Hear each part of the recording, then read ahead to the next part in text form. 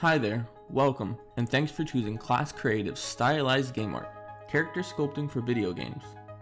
In this intermediate course series, we will be learning the core fundamentals of character creation.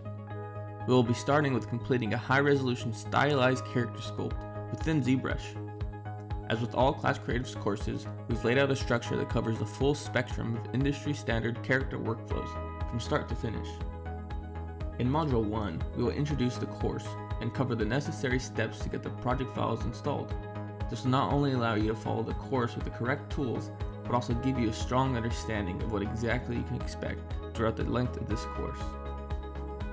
In the second module, we start the character creation process and begin blocking out the rough first pass of the character model.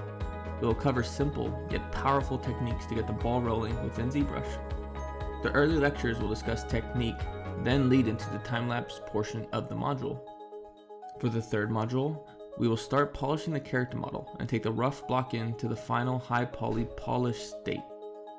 The techniques in this module will give you the ability to take any rough piece of model or clay that you come up with and show you the path to get it finalized at a production level quality. The fourth module is a continuation of the third. We will continue to work on the high poly sculpt and finalize the high fidelity stylized character. The polishing phase can be quite tricky, but with the tips and tricks that you will learn in this module, you'll be able to output a quality sculpt for whatever your needs may be. In closing, please feel free to take a closer look at the course description outline for a more detailed description of the material covered. Enroll today and begin your journey into the exciting creative world of character sculpting. We look forward to seeing you in class.